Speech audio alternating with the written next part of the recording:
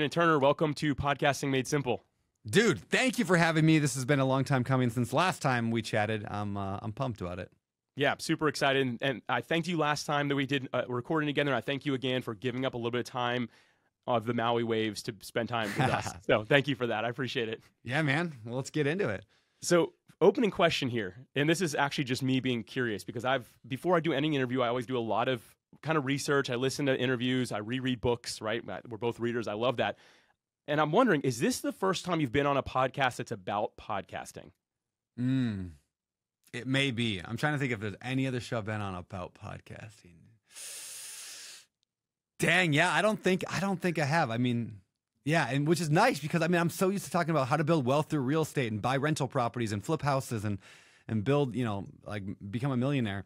So, you know, people can follow pretty much every other thing that I do for that. But right, pod, oh. yeah, yeah, podcasting is actually what made everything else possible. I, I love it. We're gonna get to, to, really dive into all that real quick though. For anyone who's already disappointed and ready to like leave because you're like, we're not talking about real estate and creating millions of dollars of wealth through it, right? Like, just go Google Beardy Brandon and you will find yeah, everything find this guy does. And we'll probably talk about it a little bit. But I really want to focus on podcasting because of the thing you just said, right? In many ways, it was the vehicle that got things spinning yeah. for you.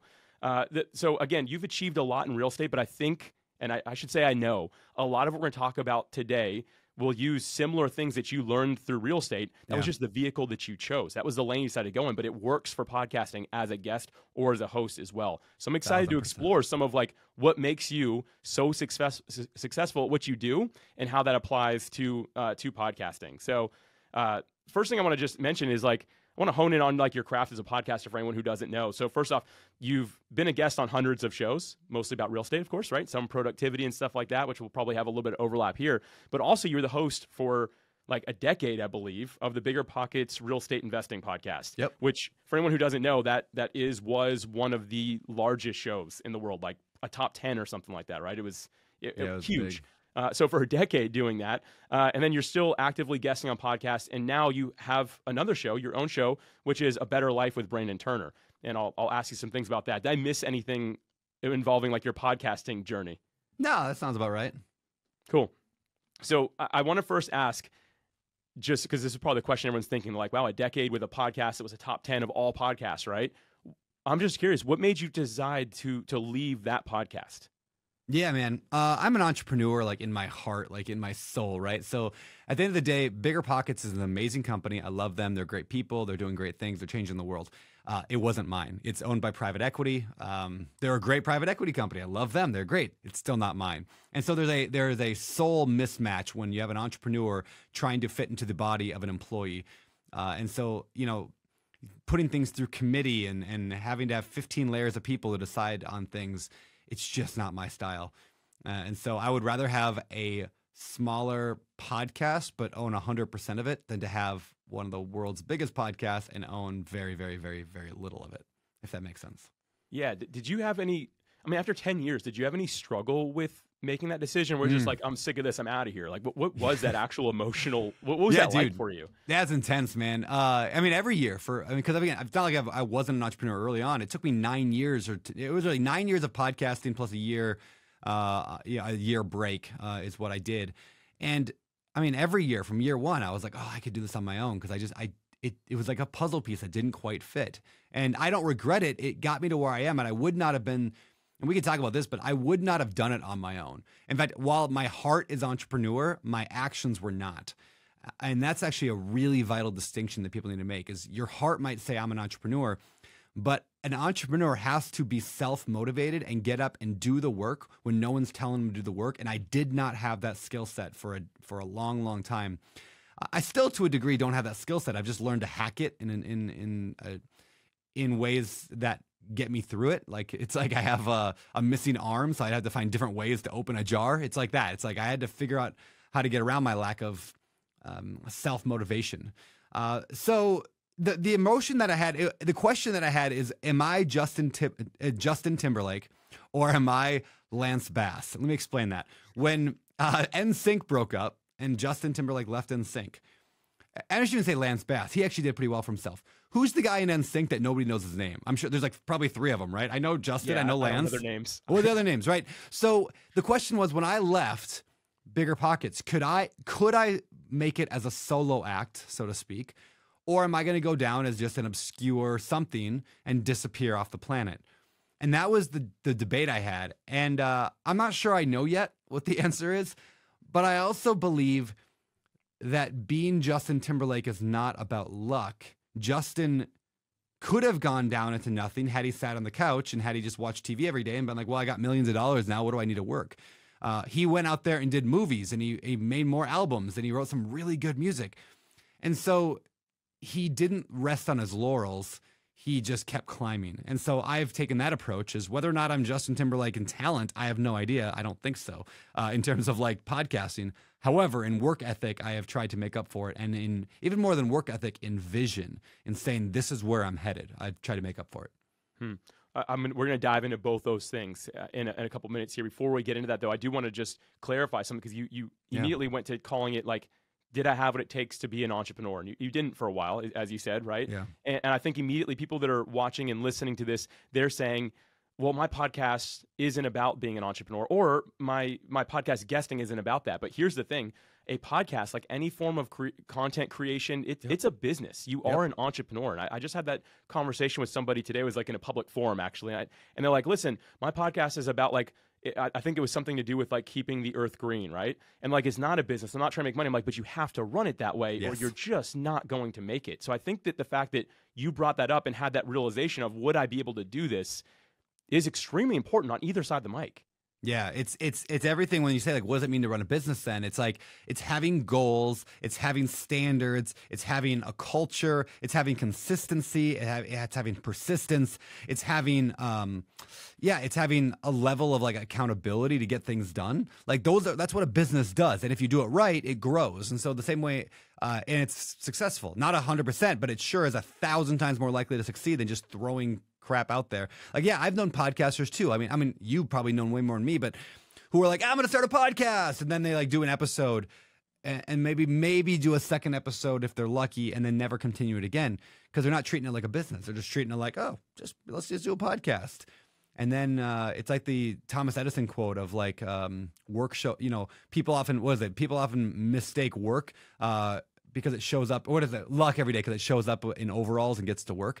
It's like, right? Uh, yeah, you just if you treat it like a business, it's going to be more successful. I'm almost guaranteed.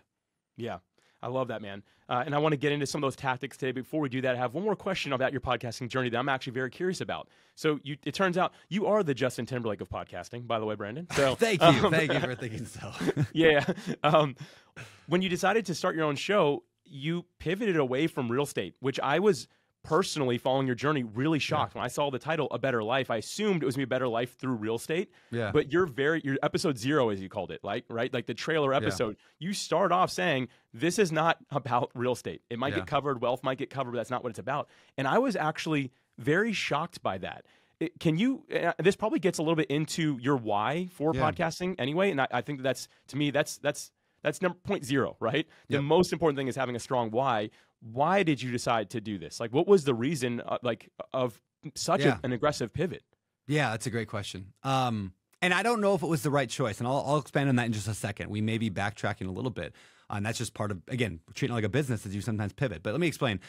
The question at the beginning that I, I went back and forth on is, I can be the biggest fish in a very small pond or immediately small pond, which is real estate investing. Like I already am the like this whatever the most popular podcaster in real estate investing. I already have like five of the top 10 books in amazon on real estate investing. I'm already the one of the biggest fishes in real estate investing. And i can stay there and i can continue to be the big fish in real estate investing. But my ego and my desire to grow says that that is a small pond compared to a much bigger pond of just human development or personal development, however you want to call that, uh, just success or whatever. Uh, and so I decided I would rather shoot for a bigger potential, but to have a harder climb to get there. So, like competing in the world of Lewis Howes and Steven Bartlett and Chris Williamson, competing in that space is a way more challenging game. But I mean, Alex Hormozi, right? I mean, look at like these guys, like just massive, massive, massive reach and audiences Uh, and so I decided I wanted to play in that space because I'm good enough to. I'm not saying I'm better than them in any way, but I have 10 years of experience to learn how to play in that space. I'm going to be way better off than most people just starting there with zero, right? So that was the choice I made. Now, that said, this is probably more important. Why podcast? Let's go to a really fundamental question. Why do we even start podcasts? There has to be a reason for it of some kind. Everybody's got a reason. So when I look at my reason today of why I podcast, let's it's to grow my personal brand. Well, why do I need to grow my personal brand? Well, specifically, I've got two, I've actually got five, six companies right now, but let's just go the two biggest ones. Who's counting though, right? Yeah, yeah, yeah. Who, who's counting? Whatever, six, five, six, and it changes actually every month. Uh, but the two biggest companies I have at Open Door Capital. We have about 10,000 units of rental properties. Uh, we've raised over $300 million.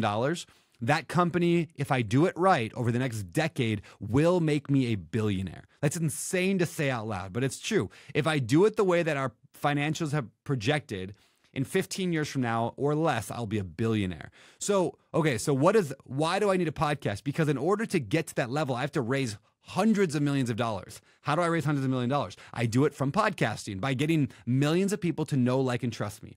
And podcasting is the greatest path towards the know like, trust factor scaling that's ever been seen on this earth. It is by far the best thing, and more than TV, more than YouTube, more than uh, any of that is podcasting. Um, there's something magical about people listening to you every week for an hour or more, half hour, hour, whatever, week after week after week that builds the know like trust factor. All right, so I need to podcast to grow my wealth through Open Door Capital. I also have this other company called the Better Life Tribe. It's the it's a tribe, it's an accountability mastermind where 100% of profits go to fight human trafficking. We currently have right around a thousand members, paying right around $300 a month. We're going to have a new higher tier pretty soon with some performance coaching. That goal is to give away $50 million every year to fight human trafficking. And I don't think it'll be that hard. 10,000 people at 500 bucks a month will get us $50 million a year to give away. So, what do I need for that to grow? I need millions of people to know, like, and trust me. So, let me sum all this together and why I might be pivoting. Because when I play in the Lewis Howes, Chris Williamson, Steven Bartlett, that space of just general personal development, the Joe Rogan space, of just whatever I want to talk about, I might be able to get more people to listen, but I'm not necessarily getting the right people to listen and to convert. So I don't podcast for fame, I podcast for conversion. And I, I want to I'm going to say that again because that's super important. I don't podcast for fame, for numbers. I podcast for conversion. They have to suit my needs. I have a friend who has 5 million followers on YouTube uh, in the finance space. He also has one of the biggest podcasts in the world he couldn't raise a million dollars. At the same time, in the same time period, I raised $120 million. He couldn't raise a million for a real estate deal, and I, I raised 120. Why? Because the size of the audience doesn't matter. It's who the audience is. So that's why I may be shifting. I'm going to shift a little heavier back into real estate because at the end of the day, I need people to give me money for open door capital to partner with me, and I need people to join the Better Life Tribe. And the market says real estate investors are the ones doing that. The real estate investors are the one giving me money. Real estate investors are the ones joining the tribe. As much as I wanted to go bigger, it's really hard to sell a product that says, I'm going to give you a better life with habits and goals. People are like, okay, well, I'm not going to pay for that. But if I said, I'm going to give you a tribe that's going to guarantee you get financial freedom in three years or less and you can quit your job, people will pay 500 bucks a month for that all day long, right? So I now podcast for conversion. And that's why I'm going to be not necessarily going away from the personal development, but I'm going to add on uh, more real estate content. Uh, Brandon, not just a pat you on the back, but kudos to you first off, because a proper why as a podcast guest or host is always something that's bigger than yourself. It has to go beyond you. So I'm really, I, I, I wrote Thanks, down man. to bring up the point that the Better Life Tribe gives away 100% of the profit. Um, love what you're doing there. And that right there, that makes the why bigger than yourself. It's not so that Brandon can be like, I have a billion dollars in my bank account one day, right? Like, that's not the idea. It's what's yeah. the impact I'm going to leave long term. So again, kudos to you. That's amazing to see you said something just so important. I podcast. I sorry, I don't podcast for fame. I podcast for conversion. And what that really is talking about is the avatar. Yes. Who is it that you serve? Which eh, anyone who's here heard me talk, I always go back to that ideal listener slash avatar. And if you're a guest or host, you've got to have somebody. I love the fact that you're out trying new things because that is like the definition of an entrepreneur, right? Yeah. But then figuring out and honing it back to who is it that I really serve that's really going to help complete this mission that's bigger than both of us. I, I love that you've gone in there and, and really you're honing that in, man. I, I respect that so much. Thanks, man. At the end of the day, yeah. I mean, if it, I mean, eh, if it helps you give away fifty million dollars a year to fight human trafficking or more, and if it helps me become a billionaire through real estate, and and I have a mortgage company that's launching that could be a billion dollar business. I have a few other you know side hustles, um, like a high end high ticket real estate mastermind. But like, if it helps all those grow, I would I would sing on a podcast. I would do a podcast about movies. I would do a podcast about like I'm not going to do one about something I don't like or care about, but I would pivot to almost anything if it accomplishes my goal and my goals of conversion, which means sales, which means success. So I will I will do what needs to. There's a, a very good book called The Lean Startup uh, from Eric Reese or Rice R I E S or R E I S. Anyway, Eric uh, wrote this book called The Lean Startup, and it basically says you do not know what the what business is going to work. Uh, the market decides that. So you might have a theory that says I'm going to podcast about movies and then you start doing it and you realize every time you do talk about movies it does okay but anytime you venture into the world of musicians who are in movies all of a sudden that episode kills it. Okay well then the market has determined that musicians in movies is more popular than movies so you can pivot if you want to grow and get into that. Uh, and you get to still be true to yourself and your interests and all that but uh, being open to the market i think is super important uh, when it comes to wanting to scale. Unless you're happy being small and just having a passion project that's cool too Oh man! Uh, so, in the name of not podcasting for fame, but instead conversion, we are now going to hear a live performance yes. by Brandon Turner. Here uh, we did go. you bring your guitar? Where, where's Uh, that at? Actually, I, I'm into rap now, so I'm going to be rapping. oh, uh, great. Yeah. Well, go ahead and hit the beat or whatever it is. Like, start it up and let, let's go. Um, oh man, man, my beat machine's broken. Sorry. Uh, just- uh, you know, I'm sorry, everybody. We'll just keep the interview going then. Yeah, so, all right, all right. I do apologize. Uh, I, I wanna- oh man, I'm not going to edit any of this out, just like last Good. time. Good. Um, I hope not. Yeah, yeah. So we're just going to keep this thing moving along here. I want to get into the point that we've kind of hinted at since the start, which is talking about uh, some of the, the systems, the processes, the SOPs, the standard operating procedures, right? But right before that, I want to talk about something that I hear you say a lot in regards to self discipline. First off, aside from having a really strong why and person that you're serving, the number one contributing factor to someone's success in podcasting is self discipline. Uh, here's the thing, Brandon. I hear you say all the time, I I don't don't, have have a lot of self discipline. I struggle with it. You talk about it all the time. And you already hinted at these productivity hacks. But first off, how have you made it as a podcaster if you really struggle with it, which is the number one Yeah. contributor to failure slash success? Can you talk about that? And we'll kind of get into some of the practicalities of it. Sure, I'll, I'll explain in a story. So a few years ago, uh, I wanted to get into racquetball. This is probably eight years ago now. I really like the idea of racquetball, and so I could get up and I could get up early before work, uh, and I would go grab my ball and my racket, and I'd go down to the YMCA, which is 30 minutes away, and I would just go whack the ball around. Maybe, maybe I'd find a partner there, somebody who's standing there and wants to play, but probably not. And you know how many times I did that? Zero times. Zero times, right? But then I met this guy, Robert. We became good friends. He went to my church and he's like, Hey, I love racquetball. You want to play sometime? I'm like, Yes, I do. So the next morning at 5:30 a.m., he's outside my house and he's like, Let's go. And I'm like, Okay. So I wake up and I, I go out and I play racquetball. And for the next year, we played four times a week because he would show up at my house at 5:30 a.m. and we'd go play racquetball. I never missed a, a dime because I had somebody there. I will disappoint myself and my own ambitions and my own dreams, and I will let TikTok or Instagram or YouTube overtake it, and I will lie in bed and I will do nothing unless I have someone there at my house who shows up and says, "Let's go play racquetball." So, how does that apply to podcasting? It I have people who I am obligated to show up and and I will let myself down, but I will not let other people down. And most people are the same way. As long as there's somebody else involved, now I'm going to show up and do it. I mean, there's a million studies that back this up. Like, if you want to go to the gym, just get a gym buddy. If you want to podcast, like somehow I had to get other people obligated. So I hired actually when I launched the new podcast, I hired a full time podcast person. Could I afford it? I mean, not from the podcast. The podcast makes no money and it donates all the profits away anyway. Uh, in fact, every bit of ad revenue, this is kind of a fun hack we did. Uh, every, not just profit, but 100% of the ad revenue from every show go toward a charity of the guest's choosing. And I ask that live on the call every single week. I say, or on, on the video, I, I say, so what breaks your heart? Where do you, where should we send all the money from this episode? And it's not a lot. It's like a thousand bucks an episode right now. But anyway, uh, it's a cool moment. It's a great talking point in the episode For sure. and it makes the guests go like one incentivized because we charge you know we, we pay um, ads uh, based on cpm so they can go out and get their podcast to get downloaded more and i now can give more money away to their charity so uh, anyway um, Does a, does a business make money? No.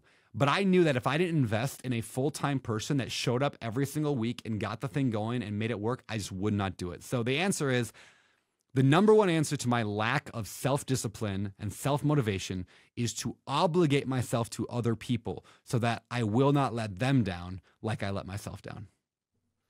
Man, that, that accountability, right? That that person huge. in your life, like that's that's absolutely huge. I know, like you said, there are very few people, and the, the studies are conclusive. There are very few people that are just okay with letting others down, right? Yep. Uh, and I guess that's kind of the accountability for a podcast guest. Uh, if you're gonna be on somebody's show, you know they're waiting for you, right? Mm-hmm. So like, yeah, chances yeah. are you're probably not gonna be like, eh, I don't really feel like it. No, there's there's somebody waiting in a Yep. green room, right, uh, for you to show up. And as the host, I always say this: like, yes, your listeners can be your accountability, but because you don't have ongoing interaction with them, usually there's got to be more to that. And, so I I don't necessarily recommend hiring someone as Brandon did. Thankfully, you're in a place where that made sense, right? Yes. But in general, there are small communities that you can be Yep. part of that people can help, uh, like just help keep you accountable. Uh, Brandon, what are some best practices you find for being held accountable, especially from a content creation perspective? Because you you blogged for years, you've written tons of books, right? Like Yeah. someone has held you accountable strictly for, hey, are you creating this content, right? Do you have some best practices or ideas around that? Yeah, man. I mean, a huge piece of it just comes down to identifying what are the actions you want to do. Uh, so whether it's and, and on a weekly basis, I like to do it on a weekly basis. So I literally have this journal. I call it the Better Life book. We give it to all of our tribe members, and it's like got this. Uh, it, every week has a habit tracker page, and so you write down first of all your three goals that you're trying to work toward. So every week I rewrite my three goals. Then I've got these habits that I r- write down, and habits could be anything from record one podcast per week to go on a date with my wife twice, to read my Bible every single morning, to uh, did I have dinner with the kids? Uh, did I go to the gym? And you write down the number of times you want to do it. So I'm going to go to the gym three times, two dates with the wife, you know, dinner at the family six times, whatever those things are, podcast two, one, whatever the number is. Now at least I have identified what it is I want to do, what I have defined as a better life, as an ideal life. Is this is what I know I need to do in order to accomplish the goals and vision that I've set for my life. So A, just by tracking it will 10x your chance of getting things done. Like just by tracking it. Did I do it? Did I not do it? It takes 30 seconds every morning. Did I do it? Did I not do it? Did I go on a date with my wife yesterday? No. Did I eat dinner with the family? Yes. And I just at the end of the week now I have a score. A perfect week is 42. I got a 25. Ooh, that's not so good. That's like a D. Maybe next week I can do better than that. And and so tracking is a huge hack to getting uh, yourself motivated to actually get that stuff done. And then adding accountability. So every single week I meet with three other dudes and we we meet on a call and we we we say these like five or six questions. We say my three goals that I'm working for are ABC. So we write down, we say what those are out loud, just so it's again a reminder every week. This is what I'm working towards. Last week when we were on this call, I committed to what? We make some commitment every week. I'll come back to that. So last week I committed to blank. Did I do it or did I not do it? The habits that I struggled with, because I've got my habits written down, the ones that I struggled with were what? The ones that I did great with were what? And then this week I commit to what? So it's those those that five or six questions that I we say each person goes around the circle and we ask it every single week, those five things. And uh just that accountability. Now somebody knows whether or not I'm doing dates with my wife. Now somebody knows whether I'm doing the podcast. Uh, and that adds a huge uh, that that's a huge boom to my life. Just adding those two things, tracking and accountability. That's great, man. I'm glad you don't go the uh, Michael Scott route from The Office, where he says, "I thrive with no accountability." That's um, funny. Is not true, right? Uh, but something that I think is really important. I've heard you say on your own podcast, "A Better Life," about accountability is you say to surround yourself with people who make the impossible seem like a, tu- a Tuesday morning. Tuesday morning, yeah. Yeah, and I think that's just beautifully said because it's like, man, you, who do you surround yourself with? You can't just get random people that maybe don't have the mindset of like, now we're taking this thing somewhere, right? Yeah. You've got to have the right people. So if anyone's listening or watching this and wondering who who is that accountability for me, let me just find some other random podcast hosts or guests and just employ them, right? Let's let's make it happen together. No, you want to see the ones that you're like. This is impossible, but they they do this on a Tuesday, just Yep. in the morning with their coffee, right? And I think that making sure you have the right accountability is key because I imagine those three people aren't random three people in your life. They are people that you respect that you probably don't want to let down that are also they're going places, right? Yeah, it, it's it's so important. Yeah, and they are they don't have to be perfect at it. They just got to be working at it, just like I'm working at it, and they have to be consistent. Now, when people don't show up to pod calls or accountability calls, they fall apart. Uh, which is why we have structure, very specific structure. Those questions are designed specifically uh, so that we don't get off track. Um, it's huge. I'm gonna give you another example of that. Like I've got some friends that Jeff and Megan, they live about a block north of me or up the hill of me uh, here in my neighborhood. They go to the gym five days a week, six days a week. They are the most in shape couple I know. I mean, ridiculously in shape. I mean, Jeff's a former like Marine. Uh, Megan has like this stupid six pack. Like they like they like work. I mean, they do upside like handstand push ups like just in the gym. I don't want to be them. I don't want to be that in shape. I'm just that's not who I am. But you know what? They make the impossible, like having a six pack or having like big muscles or doing an upside down push up, whatever, they make that look like a Tuesday morning. So I like actually going to the gym with them. In fact, just by the fact that they moved here, I don't know, six months ago, I go to the gym now like four times a week. Not five, not six, but I go like three to four times a week now. And I'm I've lost 15 pounds in the past, I don't know, whatever, like yeah, four months, five months since doing that. Uh, because because they're there. They make the impossible of that look like a Tuesday morning. So, and sometimes you have to pay to get in those rooms. Uh, like if you're like, hey, I want to be a podcaster. How do I? If you're brand new at podcasting, you may not be able to get into a small accountability group with you know you or I, right? Like we're not probably going to do that unless somebody. You may have to pay for it. So then you pay for access to people who make the impossible look like a Tuesday morning. That's great, man. You know, I want to transition here because I've got a bunch of little like quick hacks I want to sure. get through just because I think that you've, after a decade or more of podcasting at this point, on both sides of the mic, like you've got some stuff that you can share. Uh, this is actually going into some goal setting stuff that you do. And this is something I was just like randomly thinking about because I, I, get on calls with a lot of podcast guests and hosts, and one of the most common things I hear is, "Oh, my partner doesn't doesn't really get it, right? Or my husband or my wife my significant other, my girlfriend, my boyfriend, right? There's like, oh, they don't really like understand it. And I think the problem is something I've heard you bring up, and that's the importance of bringing the people that are most important to you into your goal setting. They maybe don't need to know, like, I'm going to do 10 podcasts this month. They need yeah. to know why. Going back to that, right? They need to know why you're doing it. Can you just talk about the importance of bringing these other people in? Because I think one of the reasons a lot of people uh, pod fade, as it's called in the biz, right, on either yeah. side of the mic, is because they can't get the buy in from the person that's closest to them. Yeah. Let me give you a few thoughts on that on how to get your partner, spouse, whatever romantic interest, how to, how to get them on board. Uh, yeah, let me give you a few thoughts there. First of all, I think a lot of people use that more as an excuse to stop taking action. Everybody is, this is going to sound weird, everybody is looking for a reason to quit all the time. Like human nature is to look for a reason to quit. Uh, and so people will take almost any reason to quit. Like, oh, you know, I, I've been going to the gym for a long time, but, oh, you know, I just, I'm not feeling real good right now, or I hurt my leg, or whatever. Everyone's looking for a reason to quit podcasting, going to the gym, being a good husband, everything in life. Everyone's looking for a reason to quit. That sounds so weird, but like that's just human nature. So they use the my spouse isn't supporting me as an excuse. So first of all, if you're if you're thinking, "Oh, my spouse isn't supporting me, so I'm going to quit," Understand that that's you just trying to find an excuse. You're self sabotaging. Second, have you been a person of your word in other areas of your life with that romantic partner with that person or not? Because chances are you have let them down in other ways that they no longer trust your uh, ambitions. What I mean by that is you were like, I'm going to do the Peloton. And then you paid three grand for a Peloton, and now the Peloton's sitting in your attic or sitting in your basement, hasn't been used in six months. What if you just taught yourself and your spouse? You've taught them that you're not reliable, that you are willing to spend thousands of dollars on something and then not live up to it. You get a gym membership, you don't show up. You buy this new fancy whatever camera and then you don't go take pictures with it. So there is a pattern of distrust that has been built up and that's why they don't believe you that you're actually going to podcast when you say you're going to. And the third thing is this what you alluded to is are you including them in conversations about your shared vision together? Are you setting goals as a couple together? And it goes back to the like I don't podcast for fame, I podcast for conversion for a reason. So when you sit down with your spouse and you're like, I'm gonna start a podcast, they're like, all right, yep, go ahead. You know, we'll, we'll you'll be done with this next week, right? Like we all know people in their life that are like that, right? right? That say yeah. they're gonna do something, and we're like, yep, okay, that'll last a week. Some new like crappy vegan restaurant just came in down the street, and me and my wife were just like, yep, that'll last two weeks. Like that, like you just tell, like certain certain people just whatever. All right, so uh, if you don't, you don't need to necessarily say, hey, I'm gonna podcast. It's why. Hey, honey, I want to get you out of your job. I believe the best way to do that is to start a business that is a, as a consultant. I think I can make six figures because this is what I would charge. If I can do that, I can get out you out of your job so you can be a stay-at-home, uh, you know, mom. Okay, to do that, I believe the best way to do that is to podcast consistently. That will give me the followers. I know that because Alex told me that, or Pat Flynn told me that, or Brandon Turner told me that. Here's what I want to do.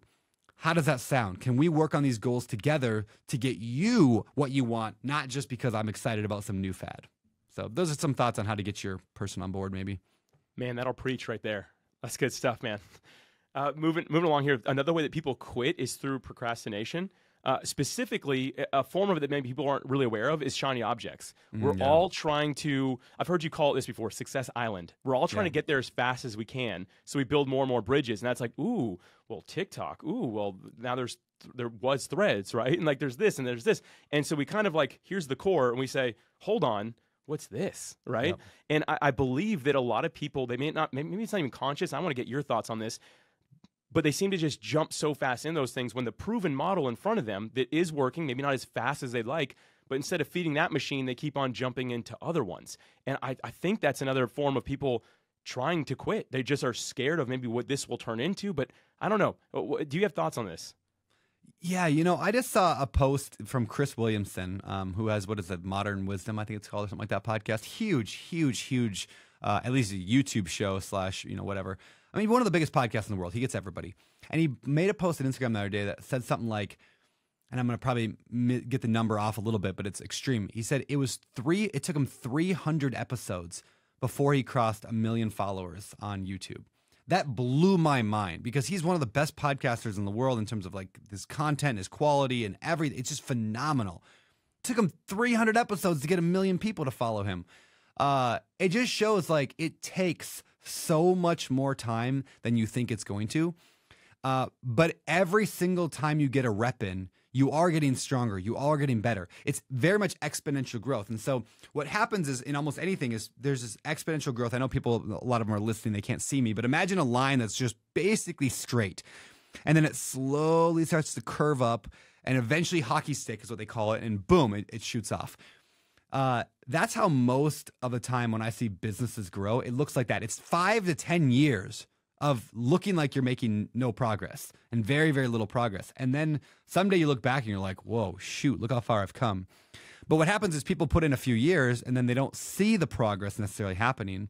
And so then they go and start a new thing, but then they start back over at the bottom. They start back over with another thing that takes 10 years to get there. Uh, and so just remembering that it's about getting your reps in and then continually improving on those reps. Like just because you're doing the same thing over and over doesn't mean it's going to succeed, but doing the same thing over and over, pivoting as needed, leaning into what people want and are asking for, and then finding ways to constantly say, how do I do this better next week? And you do that for several years. Now you're going to have some uh, progress and you're going to start making a, suc more successful business or podcast out of it. It reminds me of a Jerry Ri- Jerry Rice quote: "Today I'll do what others can't, so tomorrow I can have what they won't." Right? Mm, yeah, that's Uh, good. Maybe I messed it up a little bit, but something along those lines. But the reason I bring that up is because he's a perfect example. He probably heard that from his dad. Someone was coaching him along the way. Before the dude was at- at least in college. I mean, he had 18 years of playing where nobody knew who he was, nor did anybody care. Thankfully, in podcasting, the roadmap isn't that long. But that's somebody who was devoted to it. Became one of the best NFL players of all time. But there was 18 years in the dark of practice, and if he didn't do that 18 years, you better believe he would not have been one of the best players in the NFL of all time. And I Yeah, think that just yeah. reinforced the point we've got to stick with it. So, uh, Yeah. Brandon, I know we're coming coming to the end of our time, but you have something to add there. Go ahead. I, Well, just that- hold back. So I was gonna say I, I've been using a ton of gym metaphors, but I think they're always so applicable. It's like it's like the person who goes to the gym for four months, right? And like they're like, well, I don't really see any muscle change. I'm not really losing a lot of weight, so they stop. But as we all know, if you stuck with the gym for three years, maybe hired a personal trainer, maybe hired a dietitian if you needed to, or at least got some kind of diet plan, three years from now you will look completely different than you did uh, in the beginning. But you never notice the change. You can't see it. And so majority people, yeah, they pod fade. I like that phrase. That was a good one. Um, because they it's like, oh, I went to the gym for three months and I didn't see any progress. Or even in podcasting, it's worse, right? I did three podcasts and I don't I didn't see any change. I went and lifted weights one time and I didn't see myself look like, you know, I don't know, whatever, the rock, so therefore I'm quitting. Uh, stick with it, people. Stick with it. I love that, man. Hey, before we end our time together, I do want to ask if you have any final thoughts for podcast guests and hosts. But first, we're both we both are we like to read, both of us. Mm. So I'm wondering, do you? I'm putting you on the spot here. Do you have any? Just give us like maybe two quick book recommendations that you think would actually really help a podcast guest and podcast host. Of course, you're gonna for anyone listening, Brandon is currently just looking at Looking this behind me at my list. of books. So Well, I what- just- what do you got, man? What do you think? I just made a video called 22 Books That'll Guarantee to Make You a Millionaire. It's coming out on YouTube soon. Ooh, So I have all the books in my office now. Um, I'm going to tell you a couple of them. Uh, I'm going to give you a, a little list here. Number one, The War of Art by Steven Pressfield. That's not The Art of War, The War of Art. You got that one? Yeah, every creative should read that one 10 times. Like, re- I read it annually at least. The War of Art uh, is phenomenal. Another great one that uh, you probably, uh, maybe you've read before, but it's called Four Disciplines of Execution by Chris McChesney. Have you read that one? I. Love, I've actually never love, heard of love, one. love. Yeah, That's I love me, that so book. Uh, it's it's written by Chris McChesney and like Stephen Covey's, not Stephen Covey, but it's like his son maybe or brother. I don't know. It's a Covey, uh, put out by the Covey Institute. Or it's called Four Disciplines of Execution. It is phenomenal. Um, that's a great one. Matthew Dicks uh, wrote a book called Storyworthy. He's a competitive storyteller, uh, like The Moth or one of those kind of things. So he, it's all about competitive storytelling, which sounds like why would I read that? But every person I've recommended that book to falls in love with it, uh, and it just tells you, it shows you how to communicate better and how to tell better stories. Uh, so that one for sure I would add to the list. Uh, and then the last one I would do is 80 20 Sales and Marketing by Perry Marshall. It's a great book on just like uh, knowing how to outsource more, knowing how to get other people to do more things for you, knowing your dollar per hour, uh, and knowing how to grow uh, in the world of marketing. So there's a few for you. Very cool. Didn't let me down. There's three books, three of the four I need to check out. So you're There obviously go. ahead of me this year in reading. I love it. uh, Brandon, any final thought for us today before I let you go?